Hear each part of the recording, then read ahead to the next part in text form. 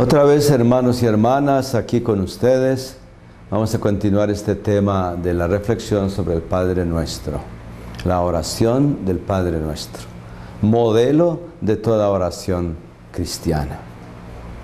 Hay que decir cristiana, ¿verdad? Porque se trata de un tipo de oración muy particular que nos enseñó el Señor. Bien, la vez pasada terminábamos con el asunto de la venida del Rey, ¿no? Y yo nada más quería terminar un par de ideas que me quedaron allí pendientes, de que es importante que cuando rezamos el Padre Nuestro, estemos conscientes que el reino se tiene que pedir. Porque si hablamos de las cuatro características de que dijimos la vez pasada, de la justicia, la verdad, la justicia, la paz y el amor, no importa el orden, eh, si hablamos de esas cuatro, usted y yo podemos decir, ah, bueno, pues comprometámonos a construir la verdad, a construir la justicia, a construir la paz, a construir el amor, casi, casi como un proyecto puramente humano. A veces hasta los mismos sacerdotes caemos, la misma iglesia, caemos en este peligro. Querer construir el reino de Dios ciertamente como un proyecto, pero un proyecto puramente humano. Como si todo dependiera de nuestras fuerzas humanas. No, el reino de Dios hay que pedirlo. Es decir, el reino sin oración, como dijimos al terminar la última sesión, el reino de Dios sin oración no va a llegar no va a llegar, de eso podemos estar seguros. Usted y yo nos podemos desgastar toda una vida queriendo construir la paz, construir la justicia, en fin, lo que sea. El reino de Dios no va a llegar si nosotros no tenemos la capacidad de abrirnos a Dios y de reconocer que es de Él de quien tiene que venir. Cuando en aquel capítulo 21 del Apocalipsis se habla de la Nueva Jerusalén, la nueva Jerusalén proviene del cielo, vestida como una novia adornada para su novio, para su esposo. Proviene del cielo. El reino de Dios es un, es un don de Dios. Si el Señor no, no construye la ciudad, en vano se fatigan los trabajadores. Hay que suavizar el corazón, digamos así. Hay que abrir el corazón a Dios, de, de aquel de quien todo depende. Y hay que pedirle que nos dé su reino como un don, un regalo. Hay que pedirle que en aquello que nosotros hacemos se cumpla su voluntad. Y por tanto se edifique el reino con lo que hacemos. Pero ¿quién me dice a mí que estoy fatigándome en vano? Que estoy tratando de construir una paz que no es la verdadera paz, una justicia que no es la verdadera justicia de Dios. Y que me estoy fatigando en vano. ¿Cuántos son los que, dice el Evangelio, no? Llegarán al final de los tiempos tocando la puerta y pidiendo al Señor que les abra y sorprendidos de que el Señor, no les, no les conozca. Esos caminaron y fueron, hicieron y predicaron, ellos lo dicen ahí. Incluso hicieron milagros en su nombre, en fin, de todo hicieron. Se fatigaron, no, cabe duda. Pero al final se dan cuenta que se fatigaron en vano. Que trabajaron pero sin Dios, sin estar conscientes de que Dios es quien juega la función principal.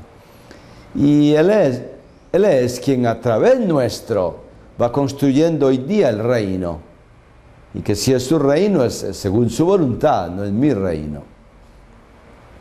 Por tanto, quería recordarles eso. Venga a nosotros tu reino. Nos recuerda la necesidad de pedir que el reino venga. Sin esa actitud también de humildad y de pobreza, de quien reconoce que el reino no es algo suyo y que no es él, él o ella quien lo construye porque así lo quiere, sino que tiene que venir de Dios, ese reino no va a llegar. Imagínense ustedes la importancia que esto tiene para un sacerdote, para un obispo, para, para unos eh, agentes de, evangelización en una, en una diócesis. Imagínense la importancia que esto tiene para la construcción de la ciudad terrena, que quieren edificar, por ejemplo, los políticos. Muchos de ellos no están para nada conscientes de esta dimensión religiosa. Ellos piensan que son los salvadores del mundo, los mesías, que van a traer al país la paz, que van a traer a ese país la justicia finalmente. Sí, tienen buenas intenciones, hacen todo lo que pueden, se gastan y desgastan por lo menos por unos años lográndolo, tratando de lograrlo. Pero están ignorando que el reino no se construye por nuestras solas fuerzas. Que sin abrir el corazón a aquel de quien viene la fuerza, aquel de quien viene el reino, ese reino no va a llegar.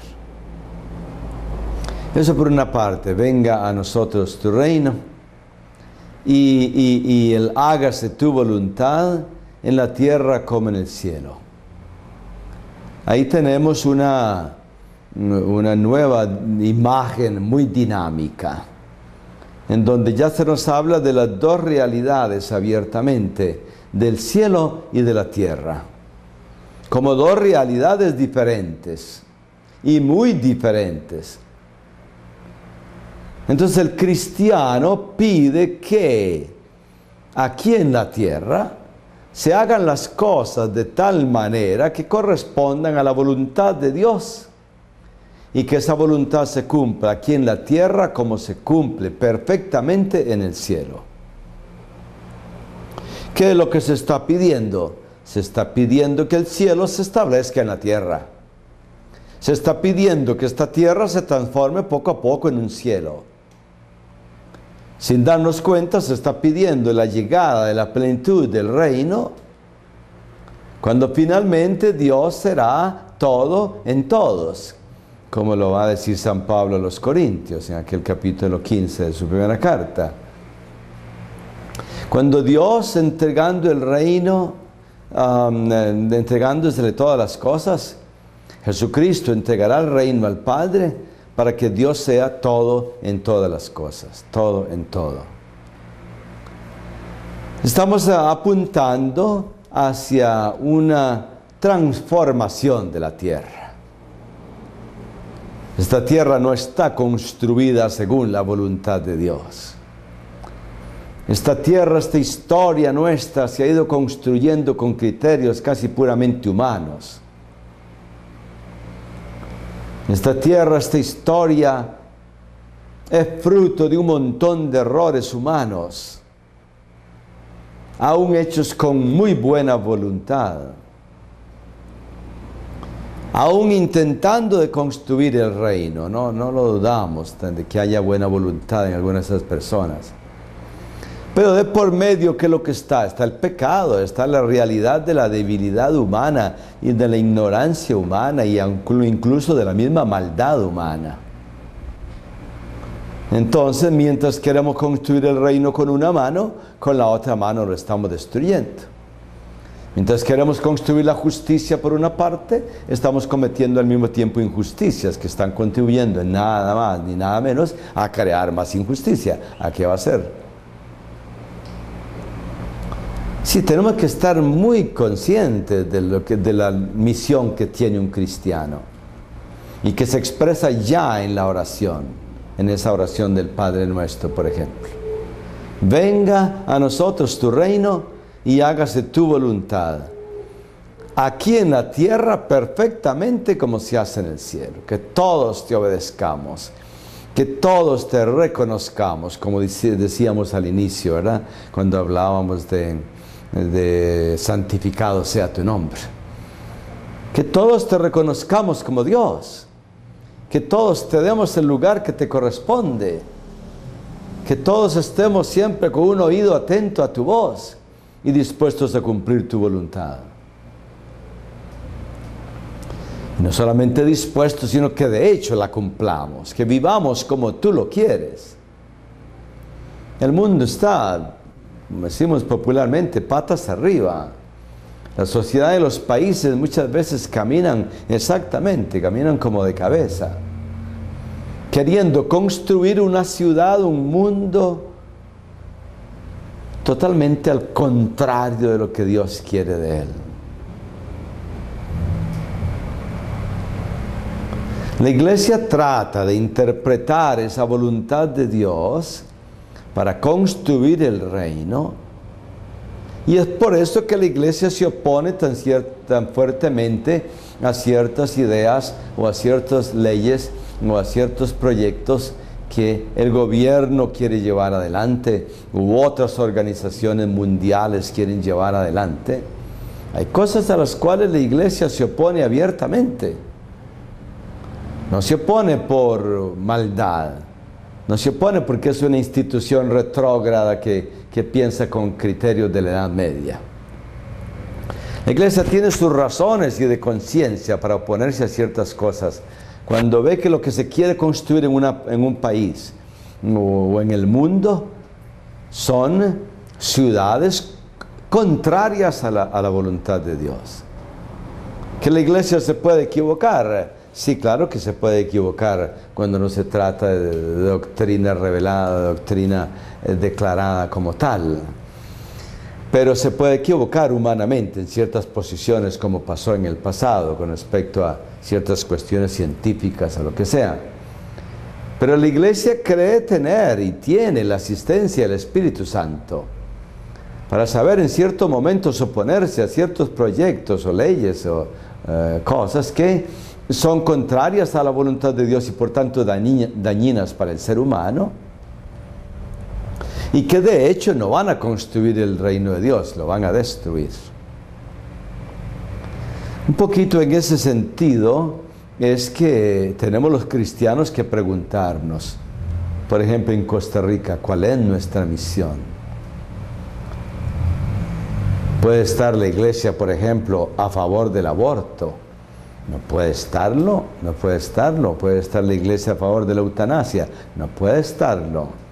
Ah, pero otros países ya han aprobado leyes así y a nosotros se nos fuerza casi a eso o a la fertilización in vitro, en fin, a ciertas cosas que, por mejores que parezcan y con las mejores intenciones del mundo, violan ciertos principios humanos y, ciertas normas que ya no son invento nuestro, sino que nos vienen de Dios.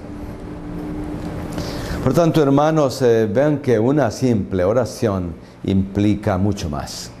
Implica que efectivamente estemos dispuestos, usted y yo, y todos nosotros, por lo menos los cristianos, que oramos esta oración, que tenemos esta visión de Dios y del mundo y de la historia, que estemos dispuestos a construir la ciudad según la voluntad de Dios. Bien, yo creo que mm, por ahora dejamos aquí este asunto de la primera parte del Padre Nuestro para introducirnos un poquito en la segunda parte. Yo les decía que la segunda parte es un, viraje fuerte.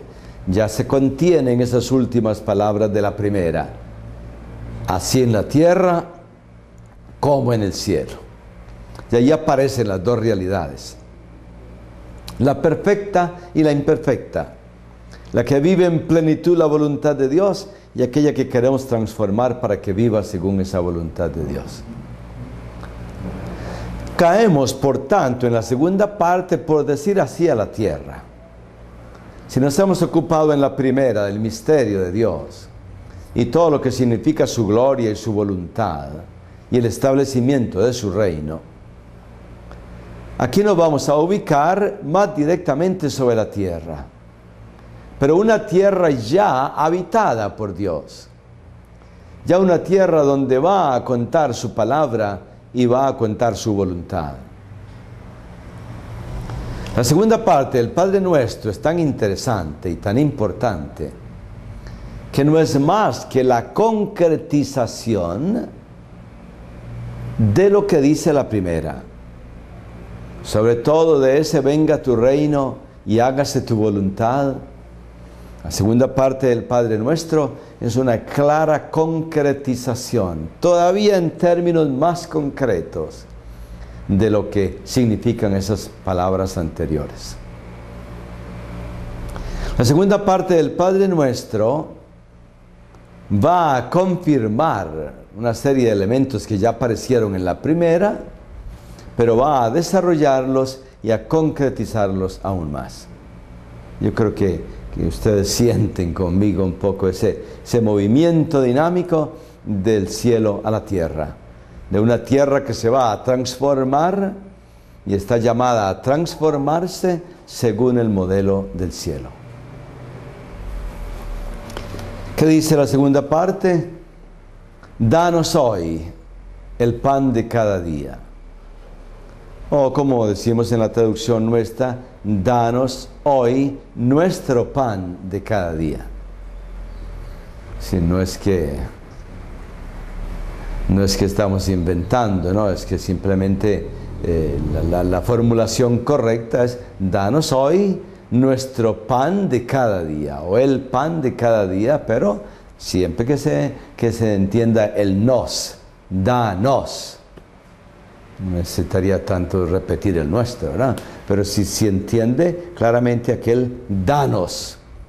Porque una vez más aparece que quien está orando es una comunidad. Quien está orando es un pueblo.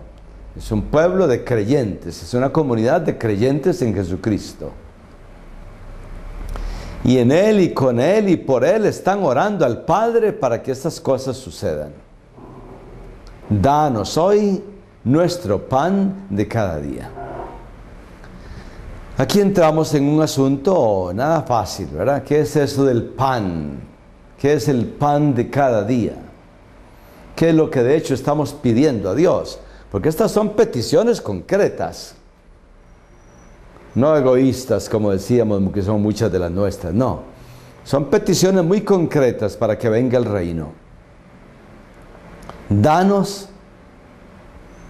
ya nos indica, de nuevo, un verbo muy generoso, muy amplio, de, Dios como dador de todo bien. Tú que eres el dador de todo bien. Tú de quien procede todo bien danos. Tiene que venir de ti. Si tú no nos das ese pan, no habrá pan.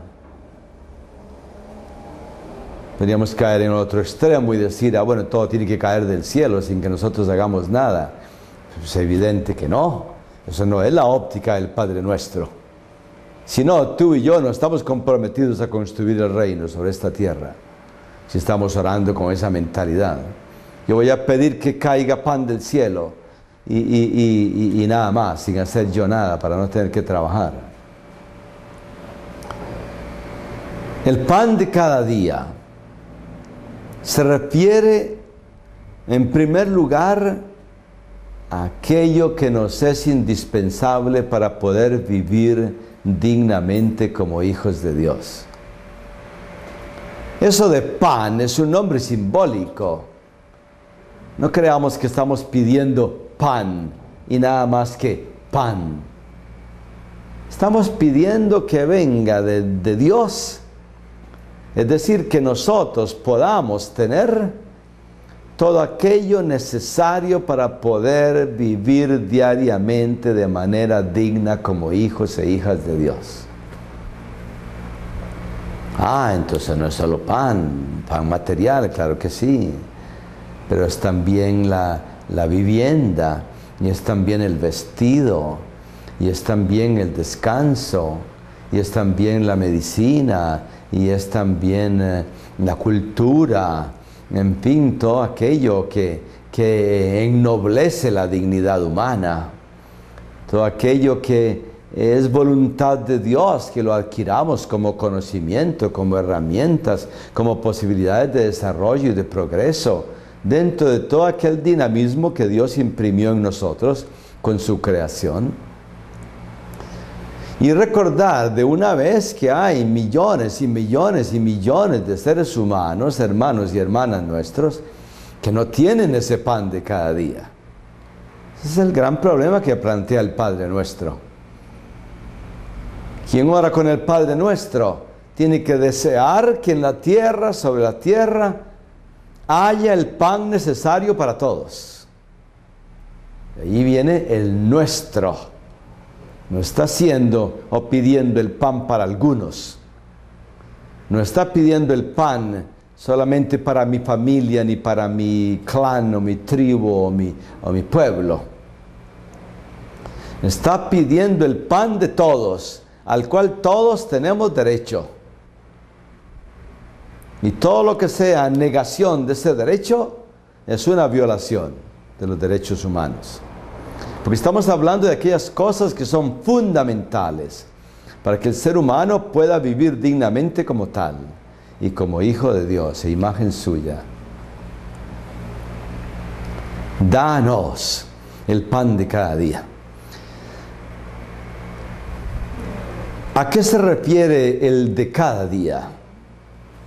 Se refiere básicamente a aquel asunto que ya viene desde el Antiguo Testamento, del maná, otro pan, un pan que cayó en el desierto, donde el pueblo estaba en el desierto.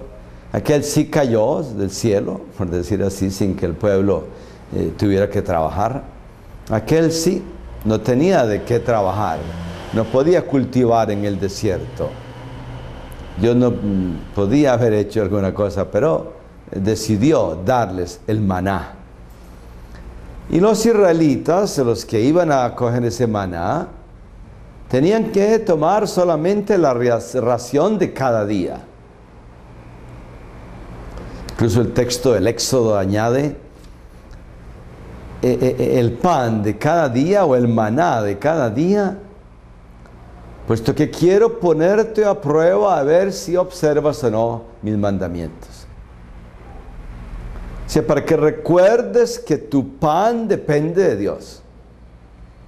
Para que recuerdes que el pan es algo sagrado. Para que recuerdes que el pan no es para acumular. No se trata de pedir egoístamente que yo tenga el pan de este mes, que tenga el pan del próximo año o asegurado el pan de los próximos 20 años. No, eso en términos cristianos es egoísta. Ya no es ni siquiera previsión humana, ni... No, no, no, no, ya es egoísmo. Cuando uno sabe que al lado mío hay miles y miles y millones de personas que apenas si pueden comer o que no tienen lo necesario. Ese pan de cada día a qué alude? Alude a la justicia. Uno de los principios fundamentales del reino, de los cuales hablábamos antes. Claro, si queremos que el reino se establezca, si queremos que la justicia se establezca, y lo estoy pidiendo que así sea, lógicamente tengo que estar dispuesto a que el pan alcance para todos, de que aquí las cosas se distribuyan y se compartan. No puede ser voluntad de Dios que en un país haya ricos, súper ricos, súper ricos como los hay en el mundo y en muchos países, que efectivamente no saben qué hacer con su dinero y que de hecho lo malgastan en cosas inútiles, muchos de ellos, para que al lado de ellos haya miles y miles de gente muriéndose de hambre, si no millones. Eso no puede ser voluntad de Dios. Que se venga tu voluntad, que se haga tu voluntad. Pues es evidente que eso no puede ser voluntad, que eso tiene que cambiar. En el mundo tiene que cambiar. Vean ustedes el dinamismo y la, la potencia que tiene una oración como el Padre nuestro. ¿Qué es lo que queremos? Que se establezca la justicia, que haya pan para todos, que todos tengan las oportunidades de, formarse, de estudiar, de, trabajar, de, de tener una vida digna. Todo lo demás es contrario a la voluntad de Dios. Hay algo mal, hay algo mal en el sistema distributivo de la sociedad, hay algo que camina mal en la estructura del mundo, en un sistema económico determinado que produce tal pobreza como, como lo estamos viendo hoy e incluso más pobreza que, que otros sistemas anteriores. El pan de cada día alude a la capacidad de confiar en Dios. Toda la escritura y todos los evangelios y la misma vida de Cristo confían, como lo dirá un día San Pablo, que contener aquello que se necesita cada día, eh, debiéramos estar contentos. Si yo sé que también voy a obtener lo de mañana y lo de pasado mañana, porque está asegurado que haya para cada día. El problema de la angustia de muchos de nosotros es el saber si ese pan de cada día va a existir mañana o va a existir dentro de una semana, dentro de un año. Y de allí la tendencia a acumular, acumular para estar seguros, que yo no sé del mañana. La dirección en que debiera ir el mundo, porque es la dirección de la voluntad de Dios, es la de construir una ciudad en donde el pan de cada uno esté asegurado.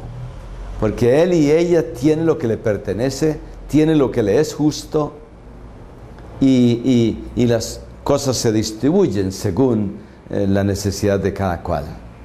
Que no quiere decir, ¿verdad?, otros sistemas que quieren eh, distribuir a todos y que todos tengan exactamente lo mismo. No es eso. Eso no es el Evangelio, esa no es la parábola de los talentos. Es la distribución de los bienes según la necesidad de cada cual, como dicen los hechos de los apóstoles. Ninguno pasaba necesidad, porque la necesidad de todos eran satisfechas y suficientemente satisfechas. Danos, Padre, el pan de cada día.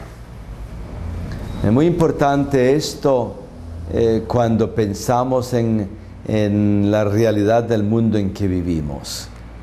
Cuando pensamos en la situación de una diócesis como la nuestra, de la diócesis de, de, estos cantones de la región brunca, por decir así. Pensamos en la situación de carestía en que viven tantas, pero tantas familias. En la falta de trabajo que, que angustia a personas aún no de, mucha edad, que angustia a los jóvenes y angustia a las familias esa falta de trabajo. Así tendríamos que añadir junto con eso un montón de otros males que afectan a nuestra sociedad y concretamente, por ejemplo, a nuestra diócesis. ¿Con qué cara rezamos el Padre Nuestro? ¿Qué significa rezar el Padre Nuestro en ese contexto en donde justicia ciertamente no hay? Si, no queremos que venga la justicia, no recemos el Padre Nuestro, sería la cosa más fácil. Si queremos rezar el Padre Nuestro, queremos desear y hacer la justicia. Queridos hermanos y hermanas, ya terminamos esta sesión.